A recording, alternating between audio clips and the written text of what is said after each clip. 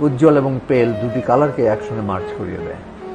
এটা তার একটি ছবির বৈশিষ্ট্য বলা যায়। ছবিতে সে সবসময় অনেকগুলো লেয়ারে কাজ করে। ল্যাপিং, ওভারল্যাপিং তার ছবিতে আমরা প্রত্যক্ষ করি। এবং এই তার ছবিগুলো কিন্তু আমরা ডিজিটাল পেন্টিং হিসাবে ধরে নিতে পারি। কারণ সে একটি ছোট্ট কম্পিউটারে বসে সে তার কাজগুলি সমাধা করে থাকে এবং পরবর্তীতে সেগুলো ডিজিটালি প্রিন্ট দিয়ে সে প্রিন্টের উপরে সে অনেক সময় কাজ করে থাকে। কখনো কখনো সে ডিজিটাল প্রিন্ট হিসাবেই সেগুলোকে ছবির মর্যাদা দেয়।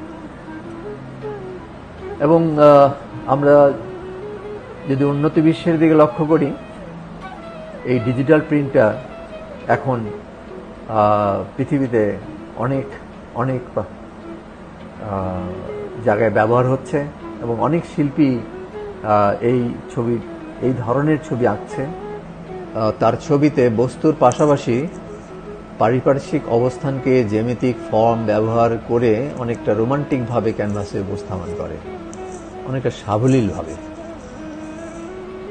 রং এবং ফর্মের বিন্যাসে সে অত্যন্ত যত্নশীল। প্রতিটি কাজে সে মুন্সিয়ানার পরিচয় দিয়ে থাকে। এবং এই কাজগুলি করে সে তার একটি নিজস্ব জগৎ তৈরি করে ফেলেছে। এবং এই ছবিগুলো দিয়ে সে সাম্প্রতিককালের কিছু আঁকা ছবি সহ চিত্রকলা ভার্চুয়াল গ্যালারিতে তার দ্বিতীয় চিত্রকলা প্রদর্শনী করতে যাচ্ছে। প্রদর্শনী শুরু হবে বিশে জুলাই এবং সেটি তিরিশে জুলাই পর্যন্ত থাকবে। সবার জন্য উন্মুক্ত।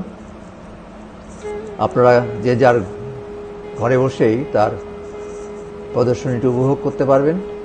আমরা জানি এই প্যান্ডেমিক সিচুয়েশনের মধ্যে ই কমার্সটি এখন অত্যন্ত গুরুত্বপূর্ণ সবার জীবনে। এখন গ্যালারিতে যে ছবি দেখার মতো আমাদের সেই অবস্থা নেই। আমরা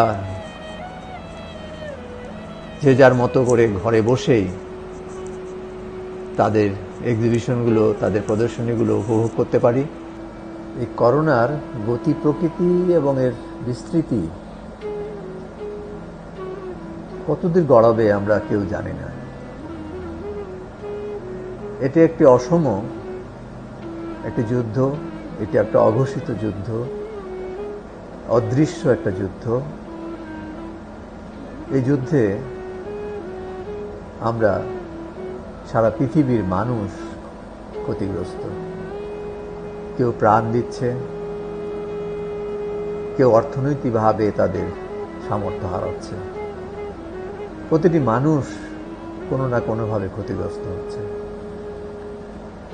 সেই একজন খেটে খাওয়া মানুষ থেকে শুরু করে সমাজের উচ্চবিত্ত এই সমস্ত মানুষেরা যে অসুবিধার মধ্যে পড়েছে, তা আসলে বর্ণনায় প্রকাশ করা যায় না।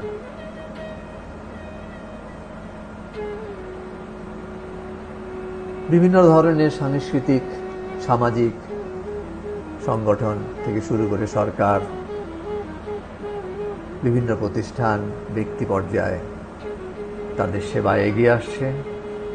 এই দুস্থ মানবতার সেবায় সেবায় এগিয়ে আসছে। শিল্পীরাও কিন্তু সবসময় এ ধরনের যখন দুর্যোগ হয়, সেই দুর্যোগে তারা অগ্রণী ভূমিকা পালন করে। তারা এগিয়ে আসে এই দুস্থদের পাশে। আপনারা জানেন এর মধ্যে আমাদের দেশে বন্যা হয়েছে। এমনিতেই করোনার উপদ্রব, সেই সাথে আবার বন্যা। মানুষ দিশেহারা, মানুষ ঘর হারা গৃহহারা হয়েছে। এরা কোথায় যাবে জানে না, নিশ্চিত, অনিশ্চিত তাদের ভবিষ্যৎ। এদের হাতে পয়সা করি নেই। তাদের রোজ রোজগার নেই। তারা কোথায় গিয়ে দাঁড়াবে? আসুন এই প্রদর্শনীতে, মাজারুল ইসলামের প্রদর্শনীতে যে ছবিগুলো বিক্রি হবে, সেই বিক্রয়লব্ধ অর্থের একটি অংশ দিয়ে আমরা তাদেরকে সাহায্য করি।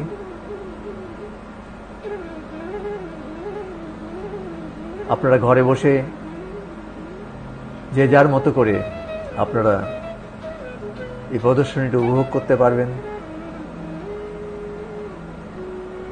প্রদর্শনী সম্পদে জানবেন ছবি সম্পর্কে জানতে পারবেন এবং এই শিল্পীকে আপনারা আপনাদের মতো করে উদ্ঘাটন করবেন। আসুন, শিল্পীরা এবং যারা বিত্তবান রয়েছেন, সংগ্রাহক রয়েছেন, তারা একসঙ্গে সেই দুস্থ মানুষের সেবায় দাঁড়ায় আমি মাজুল ইসলামের এই প্রদর্শনীর সাফল্য কামনা করছি। সেই সাথে আমি সবার সুস্থতা কামনা করছি। সবাই ভালো থাকুন, সুস্থ থাকুন এবং স্বাস্থ্যবিধি মেনে চলুন। ধন্যবাদ।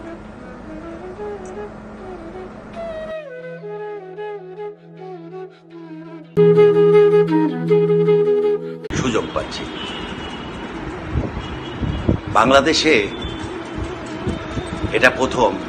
অনেকের পক্ষে এই গ্যালারি সম্পর্কে বুঝতে অনেকটা সময় লেগেছে।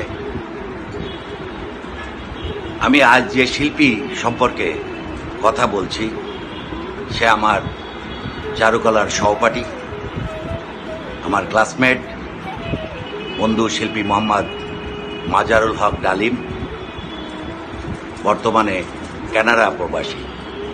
কানাডায় বসেও বাংলাদেশে তার সলো এক্সিবিশন করা যায়। এটার সুযোগটা করে দিয়েছে এই চিত্রকলা গ্যালারি, ভার্চুয়াল গ্যালারি। যার জন্য আজকে যেখানে যে দেশেই থাকুক না কেন, তারা এই ভার্চুয়ালভাবে এই প্রদর্শনী করা সম্ভব। মাজারুল ডালিম ছাত্র জীবনে সে যথেষ্ট পরিশ্রমী ছিল এবং ভালো ছাত্রও ছিল। আমার সঙ্গে দুই বছর প্রি ডিগ্রিতে একসঙ্গে ক্লাস করে। তখন ছিল আর্ট কলেজ, অর্থাৎ প্রি ডিগ্রি ছিল আমাদের ইন্টারমিডিয়েট লেভেল। পড়াশুনো করার পরে পরবর্তীতে সে থার্ড ইয়ারে যখন সে চলে যায় গ্রাফিক ডিজাইন ডিপার্টমেন্টে গ্রাফিক ডিজাইন ডিপার্টমেন্টে গিয়েও সে যথেষ্ট ভালো কাজ করে। আমরা ছাত্র জীবনে যথেষ্ট ভালো কাজ তার দেখার সুযোগ হয়েছে। এবং পড়াশুনো শেষ করে সে বহুদিন প্রবাসে আছে। আমরা প্রথম জানতাম যে সে ছিল মিডল ইস্ট কান্ট্রিতে কোনো একটা স্কুল শিক্ষক। পরবর্তীতে কখন যে সে কানাডা চলে গেছে, আমরা জানতাম না। কিন্তু পরবর্তীতে অনেকবার যোগাযোগ হয়েছে, টেলিফোনের মাধ্যমে যোগাযোগ হয়েছে, সে নিজে আসছে এবং সপরিবারে এখন কানাডাতেই থাকছেন। ডালিমের কাজ ফেসবুকে দেখি। আমরা তাকে ডালিম বলেই ডাকতাম। মাজারুল হক আসলে তার ছবিতেই, বিশেষ করে সে লেখে। তার সিগনেচার থাকে মাজারুল। এবং তার জন্য অনেকের হয়তো বুঝতে কিছুটা অসুবিধাও হয়। ফেসবুকে যে কাজগুলো দেখতাম, সেগুলো দেখে তখন মনে হতো যে আসলে ইলাস্ট্রেটার বা ফটোশপে এই কাজগুলো করছে। কিন্তু পরবর্তীতে আমি তার সঙ্গে আলোচনা করেছি। আলোচনা করে যেটা জানতে পারলাম, সেটা ফটোশপ ইলাস্ট্রেটার বাইরেও সে নিজে প্রিন্ট দিয়ে ক্যানভাসে প্রিন্ট দিয়ে সে হাতেও সেখানে কাজ করে। অতএব আমরা এটাকে আসলে একটা নিউ মিডিয়া আর্ট বলতে পারি। এবং এখন সারা বিশ্বে এই নিউ মিডিয়া আর্টই যথেষ্ট পপুলার তার কাজের যে ধরন আমি দেখতে পেলাম, সেটা হলো যে বিশেষ করে সেমি রিয়েলিস্টিক অনেকটা অ্যাবস্ট্রাক্ট অনেকটা ডিজাইনিক এরকম নানান ধরনের কাজ, কখনো প্রকৃতি, কখনো স্টিল লাইফ অতএব এই বিষয়বস্তুগুলোকে নিয়ে তা সে ছবি আঁকছে। এবং চমৎকার কাজগুলো, যথেষ্ট যেহেতু কম্পিউটারে এত নিটভাবে জুলাই থেকে ত্রিশ হককে ছাত্রাবস্থা থেকেই ভালো জানি। আমার প্রিয় ছাত্রদের মধ্যে মোহাম্মদ মাজারুল হক অন্যতম। তার আচার আচরণ ছাত্রাবস্থা থেকেই আমাকে মুগ্ধ করেছে। মাজারুল হক সুপ্রতিষ্ঠিত।